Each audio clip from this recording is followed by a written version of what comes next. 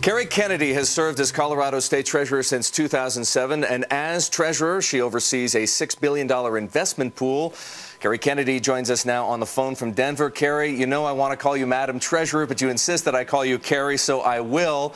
Let's talk a bit about the budget gap in Colorado. The state does not uh, face the same kind of dire fiscal circumstances that perhaps some other states in the union do Illinois, California, New Jersey, New York, but you still have a budget gap of some $75 million that you need to close. What does Colorado need to do right now to get over this fiscal hump?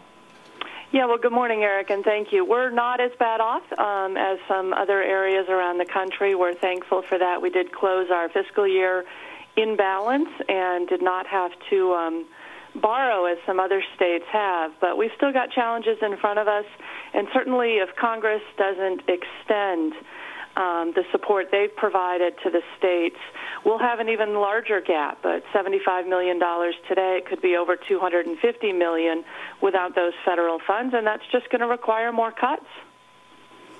Is uh, Treasurer Kennedy, are cuts the only way to deal with these budget gaps that states like yours confront, or is America at some point going to have to address the issue of entitlements, health care benefits, but also pensions for state and municipal employees? Yeah, we, we've used a variety of measures, um, but there have been significant cuts here in Colorado to schools and hospitals and universities as there have been throughout the country. We also took steps, um, one of only a couple states in the country, to reduce the liabilities that we have in our states, our public pension system. so we've shaved those costs. Um, and and you know that that's hard on the public employees here who are going to uh, have to pay in more out of their own paychecks.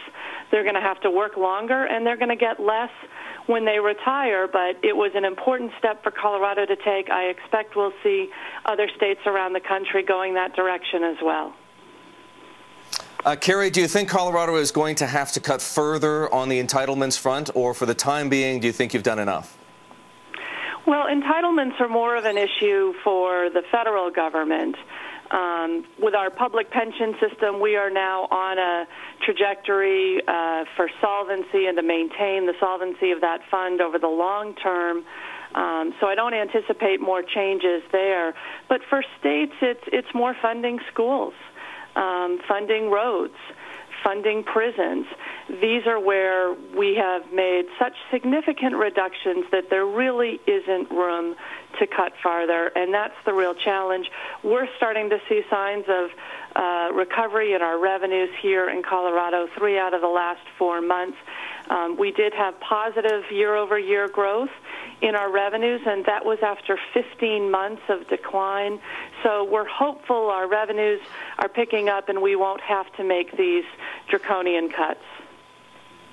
Cary, if you look around the country right now at states like California, Illinois, how serious would you say the state of municipal and state finances is right now?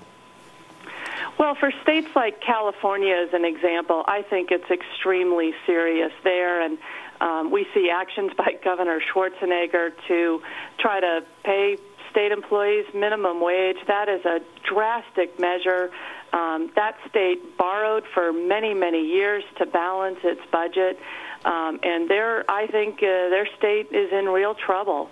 Um, other states like Colorado have been more fiscally disciplined and and I in California you know really look at the history of Prop 13 and other voter approved measures that started that state down a path of fiscal irres- irresponsibility but I think it's state by state Erik Cary, I want to thank you very much for joining us this morning. That is Cary Kennedy, Colorado State Treasurer, on the phone from Denver. Colorado may be better off than some states, but it clearly still has a few challenges on its hands.